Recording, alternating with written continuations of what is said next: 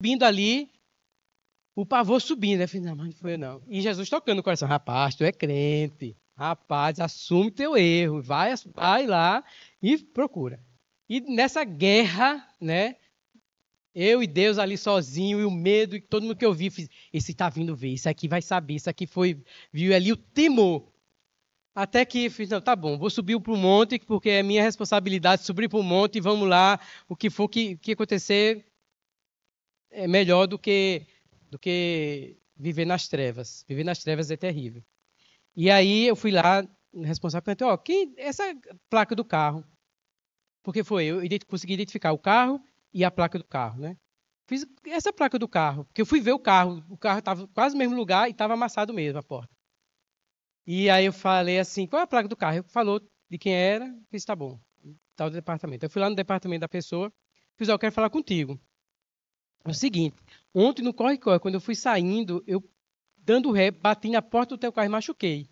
Aí ele falou, não, foi tu não, menino, isso foi um assalto que eu que eu estava vindo de Itamaracá, o ladrão veio para mim querendo bater, e eu, eu não parei, ele chutou o carro e, e ficou... O que eu quero dizer com isso? Às vezes a gente fica morrendo de medo de enfrentar o que a gente tem que enfrentar. Principalmente o nosso relacionamento com Deus ou o nosso chamamento que Deus fez para nós. A gente não quer. Talvez o povo não quisesse subir ali no, no monte, Talvez Jacó também estava com medo de se encontrar com Isaac.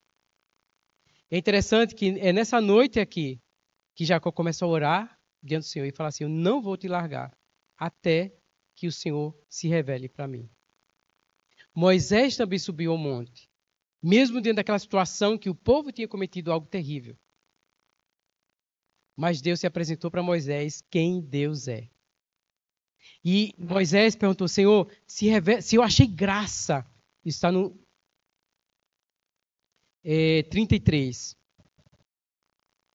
Né? O versículo antes fala assim, no 13: Agora se alcancei, Moisés falando para Deus, se eu alcancei diante, favor diante de ti, peço que me faça saber neste momento o teu caminho, para que eu te conheça e obtenha favor diante de ti. Então, irmãos, mesmo diante do medo que a gente passa, mesmo diante da situação ou de receio de que eu fiz algo de errado, vale a pena a gente ir ao Senhor. Porque o nosso Deus é maravilhoso. No versículo 15, Moisés ainda fala assim: Se a tua presença não for comigo, não nos faça sair deste lugar. Versículo 17: O Senhor disse a Moisés: Farei também isto que você falou, porque você alcançou favor diante de mim. E eu o conheço pelo nome. Eu conheço você, Moisés, pelo nome. Então Moisés disse: Peço que me mostres a tua glória. E o Senhor respondeu para Moisés: Sim, farei passar toda a minha bondade diante de você e proclamarei o nome do Senhor e terei misericórdia de quem eu tiver misericórdia, e me compadecerei de quem eu me compadecer. E aí no versículo 6 do capítulo 34, o Senhor passou diante de Moisés e proclamou: O Senhor, o Senhor, Deus compassivo e bondoso. Em outra versão fala assim: Deus compassivo e misericordioso. Se, já, se Isaú diante do clamor de Jacó, amoleceu o coração e quando encontrou Jacó, o abraçou. Muito mais o nosso Deus. Muito mais o seu Deus. Ele é Deus misericordioso. E sem dúvida, ser misericordioso é ser generoso, é ter um coração grande. Esse é o nosso Senhor. Né? Que mesmo diante da grave transgressão do povo de Israel, de ter construído o bezerro de ouro. Deus, em sua infinita misericórdia, não os abandonou. E Deus não nos abandonou. Deus, pelo contrário, renovou a aliança quebrada e reitera o seu amor. Diante disso, a gente tem a, a disposição de Moisés, no versículo 8. Moisés curvou-se para a terra, adorou o Senhor e disse: Senhor, se agora alcancei favor diante de ti, continua no meio de nós, porque este povo é teimoso. Perdoa nossa iniquidade e o nosso pecado e toma-nos por tua herança. Então, o seu Deus, quem é Deus? Deus para você é esse Deus misericordioso. Deus se importa com você. Deus olha para nós. E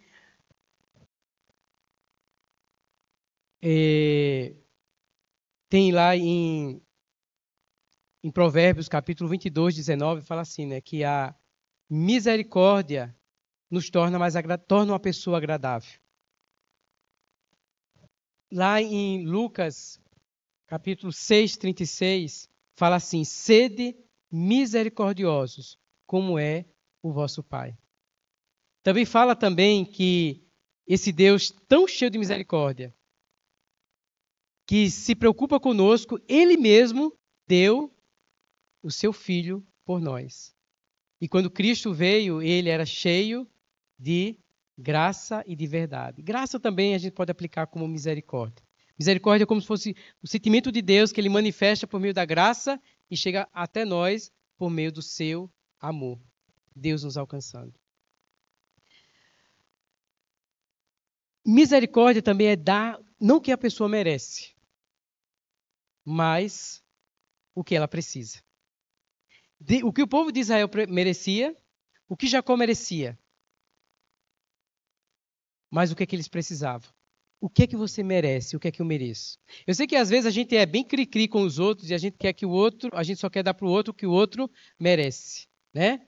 Às vezes nossa régua, nossa generosidade não é tão grande. Às vezes a gente é muito estrito com o outro, a gente é muito ali julga muito o outro, a gente cobra muito do outro, porque a nossa medida, a gente pode ser muito justo e muito correto, mas falta para nós às vezes a misericórdia. Porque Deus nunca nos tratou conforme nós merecemos. Imagine só se você acordasse e a misericórdia deixasse de existir. Deixou de existir hoje. A misericórdia é apenas uma ilusão.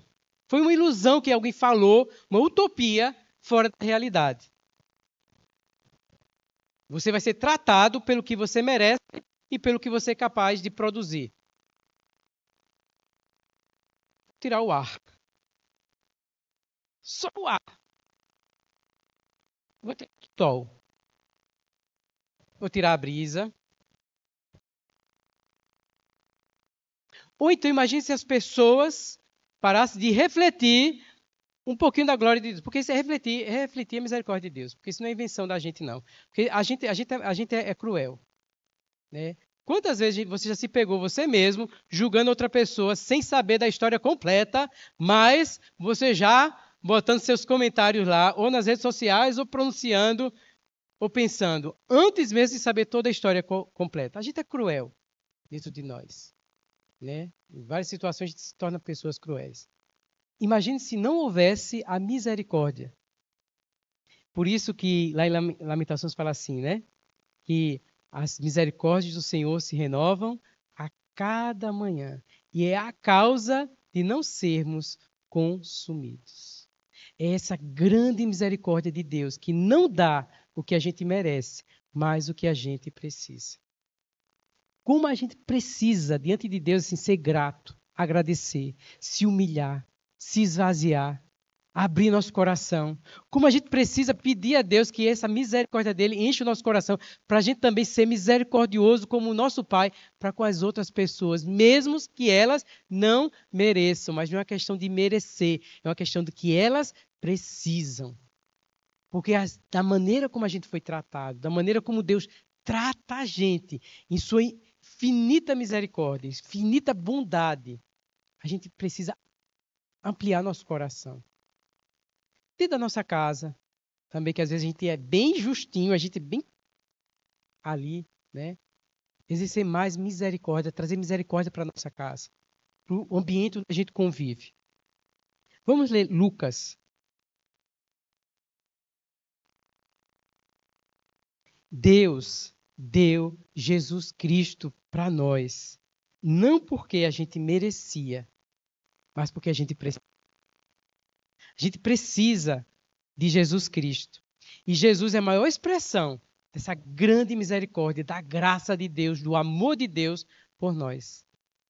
Porque Deus tem pena de nós, tem dó de nós. E nós somos dignos de pena e de dó. Eu sei que a gente, eu não quero que ter pena de mim, fazendo por pena de mim, não faça não. Mas a gente precisa. Porque ai de nós se não fosse a misericórdia de Deus. Ai de nós se não fosse Deus querendo dar-se para nós, dar sua vida, dar seu filho. Posso dar uma pausa, uma pausa aqui que eu lembrei de, de, de, Efésios, tá? Vamos dar uma pausa aqui em, em, Lucas 6, a gente vai voltar já já. Deixa, que, se quiser, travou. Se quiser deixar marcado o Lucas, deixe marcado, coloca o dedo aí, vamos para Efésios. Às vezes, irmãos, dá uma minha língua trava e olha que eu faço exercício, viu? Para melhorar minha dicção. Vamos lá. Efésios 2, versículo 4. É um versículo assim maravilhoso. Porque o 2 começa falando assim, versículo 1. Ele nos deu vida quando nós estávamos mortos em nossas transgressões e pecados. Aí, versículo 4. Mas Deus, sendo rico em misericórdia. Vamos ler todo mundo junto isso, porque vale a pena. Versículo 4, capítulo 2 de Efésios. Mas. Nível, não, pode deixar isso aí também, essa versão tá boa. Todavia, Deus, por ser rico em misericórdia. Vou repetir isso. Deus, por ser rico em misericórdia, por causa do grande amor com que nos amou. Ele fez o quê? Vou colocar aqui na tela. Assim, né? Travou. Delay, um delayzinho. Deu-nos a vida com Cristo. Amém. Deus ele é rico em misericórdia, ou seja, ele é generoso em misericórdia. Ele não mede esforço em sua misericórdia. Ele nos alcançou com o seu amor e nos deu a vida com Cristo quando ainda estávamos mortos nas nossas transgressões. Pela graça, nós somos salvos. Deus nos ressuscitou com Cristo e com ele nos assentou nas regiões celestiais em Cristo Jesus, para mostrar nas eras por vir a incomparável riqueza da sua graça, sua misericórdia, a incomparável riqueza da sua graça, demonstrada na sua bondade para conosco em Cristo Jesus. Pois, pela graça, nós somos salvos. Vamos dizer bem. Pois pela graça nós somos salvos por meio da fé. E isso não vem de nós, é dom de Deus. Não por obras, para que ninguém se glorie. Ou seja, isso não é mérito meu, nem é mérito seu, mas é a bondade de Deus que nos alcançou. E isso nos faz calar a boca, nosso orgulho ficar lá embaixo, porque a gente não tem o que se gloriar. Vai se, se gloriar de quê? Ah, porque você é uma boa pessoa, porque você não matou, não roubou e você nasceu para matar e roubar? Não há justo nenhum sequer, inclui eu, inclui você. Então a gente, por mais que a gente queira mostrar ser bonzinho, ser correto, ser melhor que os outros, estamos no mesmo patamar. A gente precisa de Deus. E a gente não precisa ter medo de Deus, porque Deus, em sua bondade, em sua misericórdia, está aberto querendo nos acolher, nos receber. O que a gente precisa é se humilhar. É permitir a morte tocar em nós. É como a sua glória vai aparecer para queimar a gente, para colocar a gente no seu devido lugar. Qual é o nosso devido lugar? Se humilhar diante de Deus. Reconhecer nosso pecado, reconhecer nossas falhas, reconhecer que a gente não é perfeito. Não tem, não tem problema. A nossa história com Jesus sempre começou isso. No momento que a gente reconheceu que a gente era pecador, que a gente era falho. E vai ser sempre assim. Então a gente. Nossas falhas. Quem tem juízo reconhece suas falhas. Porque é salvação para nós. Quanto mais você esconde suas falhas, mais Satanás atua em você. É mais ficar dentro do quarto escuro, onde Satanás toma caminho ali e lhe domina. Porque os nossos erros nas mãos de Satanás é para nos condenar, nos matar, nos destruir, nos envergonhar, ficar amedrontado. Mas os nossos erros diante de Deus é nos dar ousadia de viver quem Deus é. Então, assim, falar dos meus. reconhecer é maravilhoso. Eu nunca esqueço daquela, daquela situação lá de, de Apocalipse 12, que Satanás está acusando, nos acusa de dia e de noite, mas eles venceram pelo sangue, pela palavra e pelo testemunho que deram, por não amar sua própria alma, não amar si próprio. Tu que não amar si próprio. É você reconhecer dizer assim, não é verdade. Ó, Satanás, está me acusando, porque é uma coisa que a gente fica fazendo, às vezes, quando Satanás vem acusar, não, não foi não, eu sou eu não, sou não, não sou eu não, eu não sou não. Isso é pior. Você não tem solução para você e não tem esperança para você, porque você está correto, você está justo, você está fazendo tudo certo. Mas no momento que você reconhece que você está errado, é Satanás, é verdade, está me acusando porque eu fiz isso. Coitado de tudo, não sabe. A minha lista de pecado é muito maior do que isso. Mas saiba que eu vou dar uma palavra de testemunho para você. Para mim tem salvação, porque Jesus morreu por mim, mas para você não tem, não. E eu vou usar o sangue de Jesus Cristo, que é capaz de me perdoar todos os pecados e me fazer mais que vencedor. Então, você vence o seu acusador com o quê? Com a palavra de testemunho que você começa a dar, com não amar a si próprio, não ficar se defendendo, mas se expor mesmo. É isso mesmo, sou pecador, que graça ganhou. E tem o sangue de Cristo. Vai fazer de você mais que vencedor em Jesus Cristo. Porque é coisa terrível é a gente ficar debaixo de condenação, amedrontado. Ah, a pessoa está olhando para mim porque eu fiz uma coisa. Ah, é comigo. Ah, aquele ali está vindo ali, agora vai me pegar, agora vai me pegar. É terrível você viver debaixo do medo, debaixo de acusação. Era isso que o povo de Israel, certamente muitos deles estavam lá depois do remorso dele, com medo de Deus, pela besteira que eles tinham feito. Tinham feito besteira. Mas o nosso Deus é Deus bondoso e misericordioso. Não é que ele é inocente o culpado, não. A gente vai ver, ele trata. Mas saiba que nele você tem esperança e tem salvação.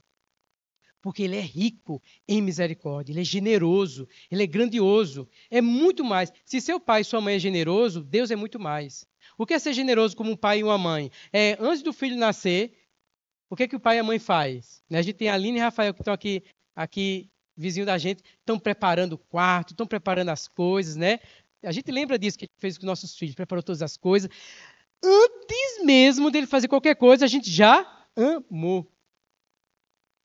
Simplesmente a gente decidiu amar, simplesmente a gente decidiu ser, acolher e dar o nosso melhor, independente do que eles fizessem, não dependeu dele. Se a gente, como pai, tem essa característica, imagina, imagina Deus não depende de quem corre, não depende de quem quer, não depende da, do nosso esforço. Deus decidiu fazer isso por nós. É a gente se abraçar e querer. É a gente querer subir nesse monte e pedir: Senhor, se tu não fores comigo, não tem para onde ir. Vem, Senhor, comigo.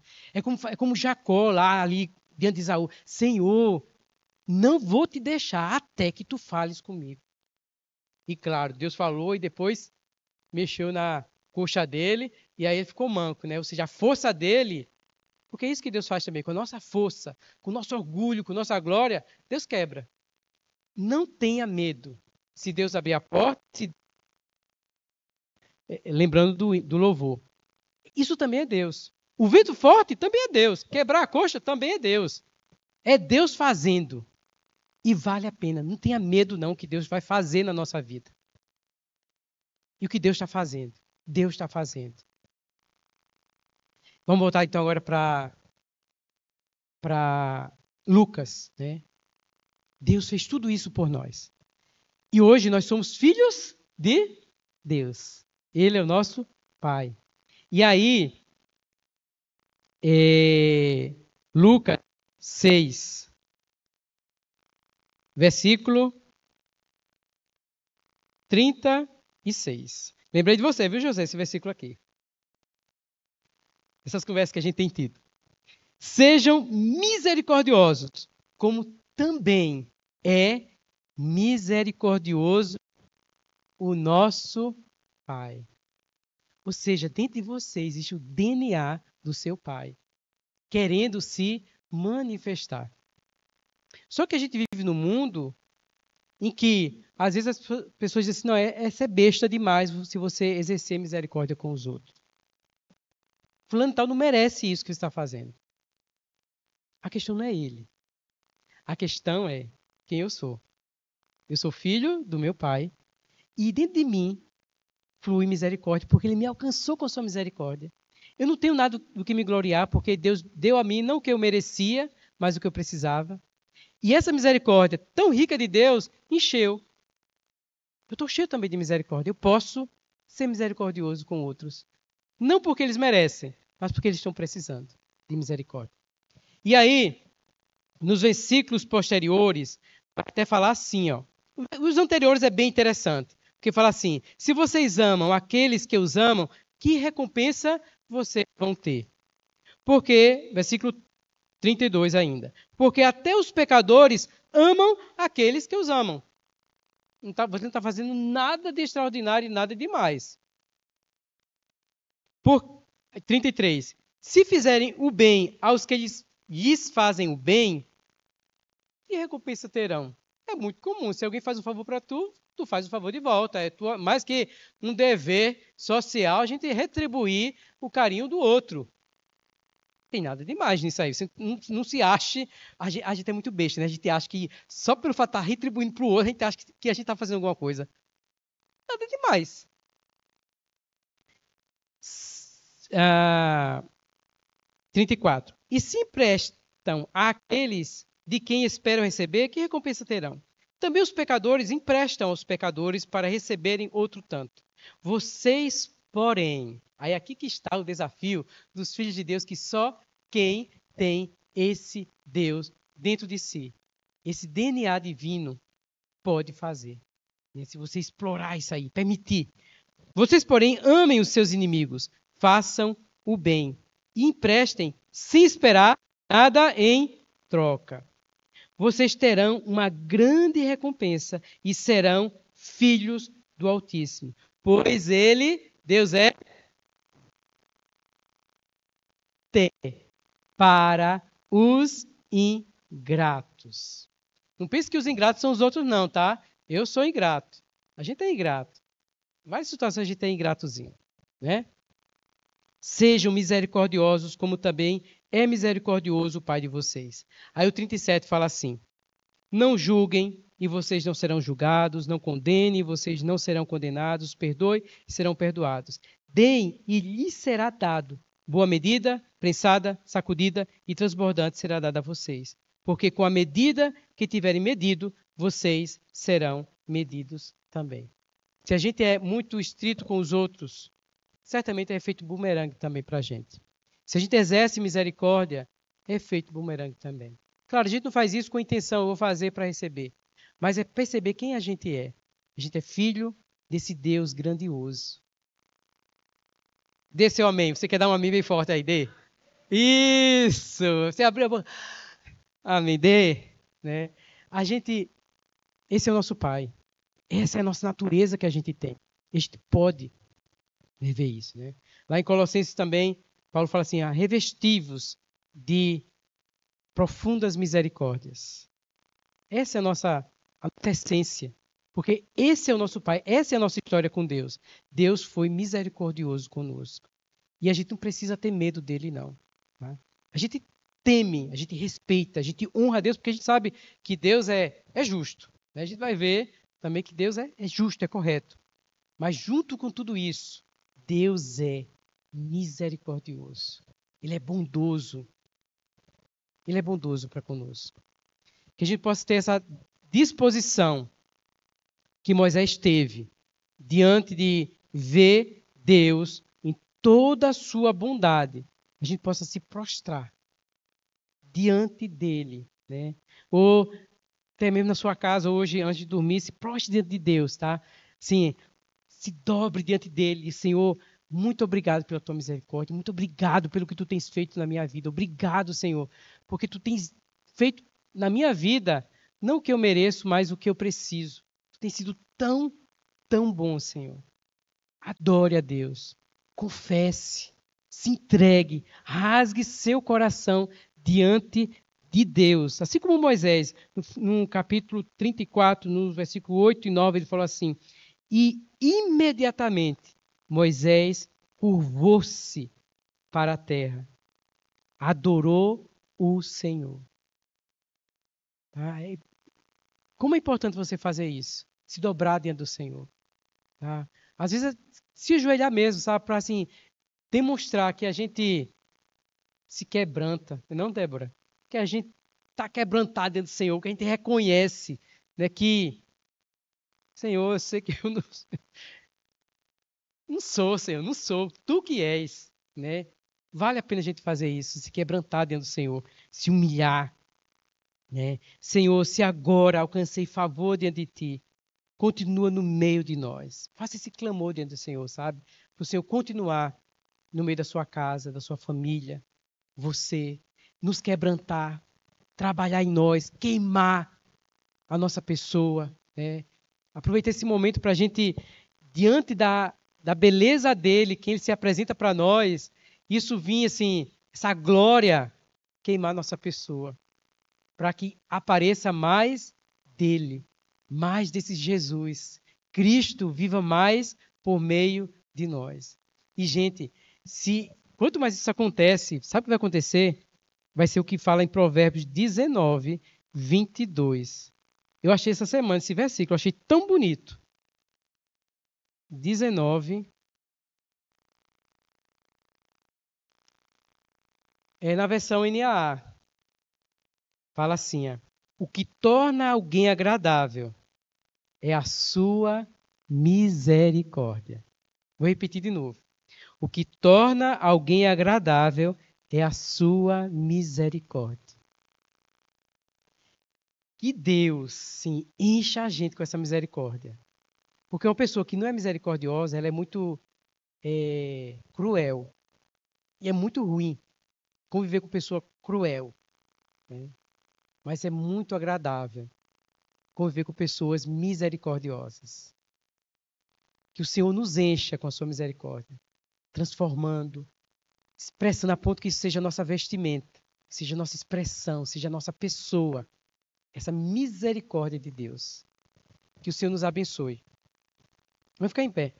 Vamos orar. Né? Que o Senhor perdoe a nossa iniquidade e o nosso pecado. E que nos faça a sua herança.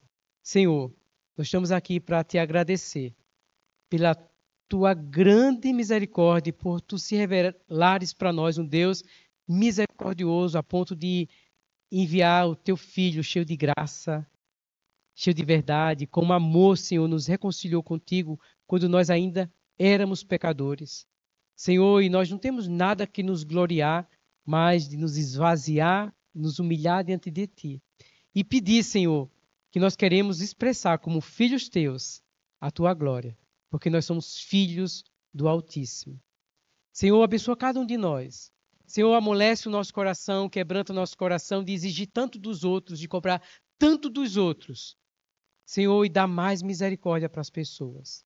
Senhor, de alcançar as pessoas com a beleza de quem tu és, um Deus misericordioso. Perdoa-nos, Senhor, porque muitas vezes a gente julga as pessoas, a gente já dá o veredito da vida das pessoas, sem nem mesmo conhecê-las. Nos perdoa, Senhor. Tu sabes que nosso coração não é de todo puro.